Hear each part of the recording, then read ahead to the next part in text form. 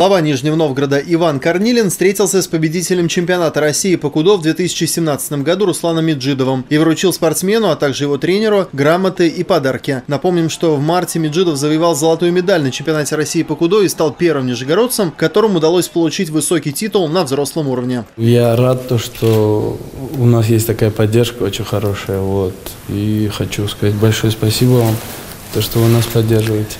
Я на самом деле э, также посещал матчи э, Кудо и влюблен в эту борьбу, потому что действительно это настоящая борьба для настоящих мужчин, настоящих и девчонок, которые там занимаются, которые вырабатывают и характер, и силу воли, и порядочность, и любовь и к своему отечеству, и к своему городу.